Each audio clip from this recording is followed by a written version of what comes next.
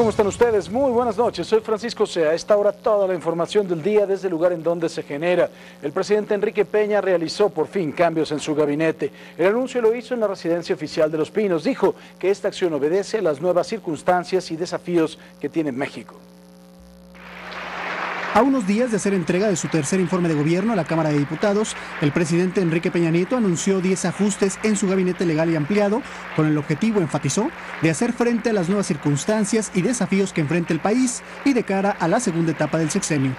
La ciudadanía espera para los próximos tres años un gobierno muy comprometido que esté a la altura de los grandes retos de la nación y de nuestro tiempo. En la residencia oficial de Los Pinos, el mandatario dio a conocer el nombramiento de Claudia Ruiz Massieu en la Secretaría de Relaciones Exteriores en sustitución de José Antonio Mid, quien ahora estará al frente de la Secretaría de Desarrollo Social.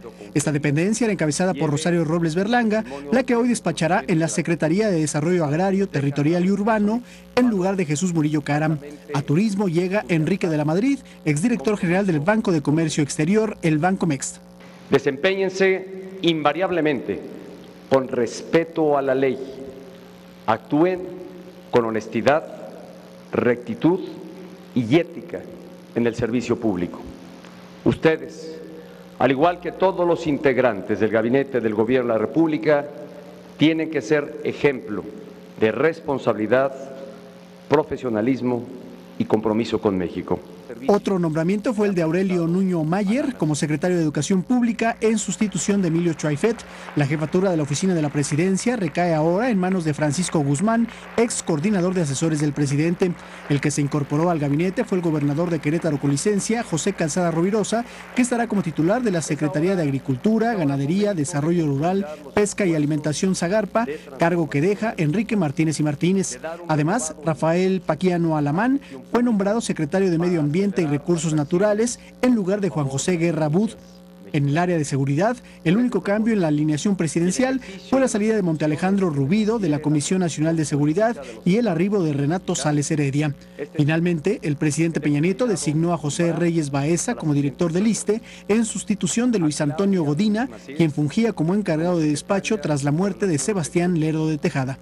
A todos ustedes los convoco a servir a México con absoluta entrega, pasión y profesionalismo.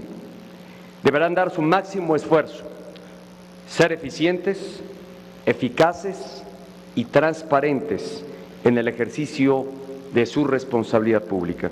Frente a servidores públicos de las distintas dependencias, Peña Nieto les dijo a los nuevos funcionarios que ahora es el momento de consolidar los esfuerzos de transformación del país y darle un renovado impulso a la gestión pública para acelerar las acciones en favor de las familias mexicanas. Tengan plena conciencia de que este es y seguirá siendo un gobierno que trabaja en equipo para avanzar en la transformación nacional. Y en esta nueva etapa entramos con muchas ganas y más fuerza.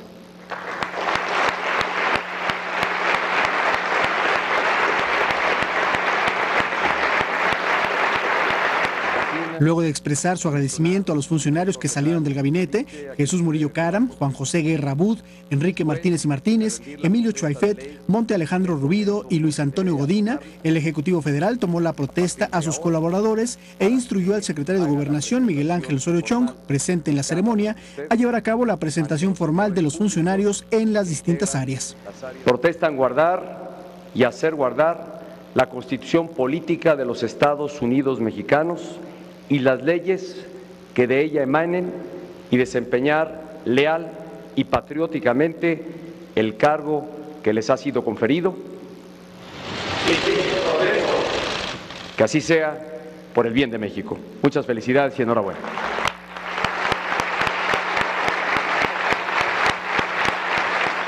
Informó Enrique Sánchez. Suscríbete a nuestro canal de YouTube para que siempre estés informado de las últimas noticias de México y el mundo. Empieza ahora mismo dándole clic a estos videos. Cadena 30, la televisión más abierta que nunca.